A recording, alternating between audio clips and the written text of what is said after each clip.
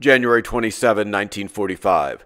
The Auschwitz concentration camp is liberated. Holocaust survivor George Brady recalls how he was chosen to live upon his arrival at the camp.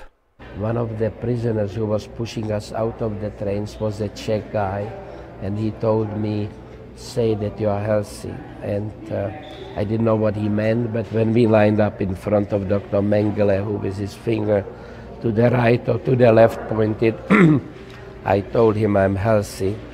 I said gesund. And whether that made it, but the fact is that there were three boys, two of my friends and me, and I went one way and the other boys went, uh, went the other way. As it turned out, we were going to work and they were going to straight to a gas chamber.